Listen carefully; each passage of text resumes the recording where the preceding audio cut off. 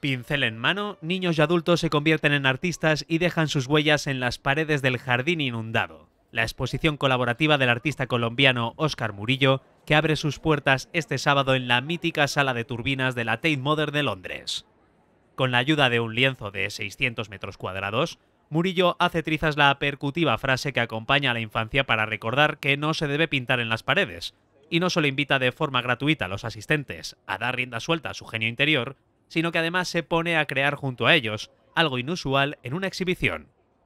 Según comenta en una entrevista con F, la comisaria de la exposición Molly Molloy, la carrera artística de Murillo, a quien define como uno de los artistas más exitosos en el Reino Unido, se caracteriza por ir más allá de la pintura y por aunar un abanico muy amplio de actuaciones, intervenciones e incluso música junto a sus piezas.